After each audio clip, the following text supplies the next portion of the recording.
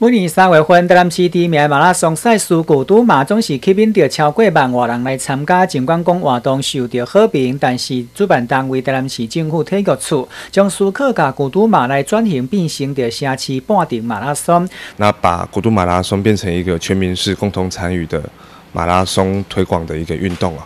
那这一次是我们主要希望把台南市两场非常有特色，一个是历史最悠久的真文水库马拉松。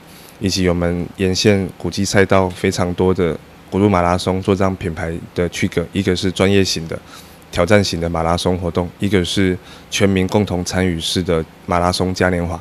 那这是我们这一次将马拉将古都马拉松赛事调整的最大考量啊。这个除了秘书单中勇表示，讲古都马伊的高级密度上高，传统的小食面的布局上出名。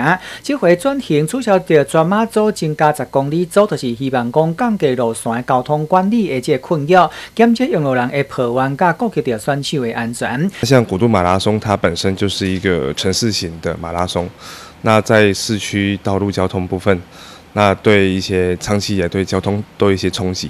那我们是把它定位成。未来是把希望把定位成一个城市马拉松嘉年华的一个活动哈，我们把虽然把那个全程马拉松取消。但是我们有增加了十公里组，那扩大它的参与层面。那么未来的目标是希望可以达到两万人。明年开始，古都马尾转型，体育处表示讲，希望甲十二月份来举办的闸门水库马拉松做出条区隔。而最近来古都马的这专马的项目参赛人数大约是两千人左右。希望讲转型了后，增加十公里组会当互整体参赛人数来提升，有果会当来到着两万人。为了鼓励台湾的好手来参赛古都马的部分，将增设着在地选。就奖金，详细这奖励办法在做着评估。那边新闻单一城台南采访报道。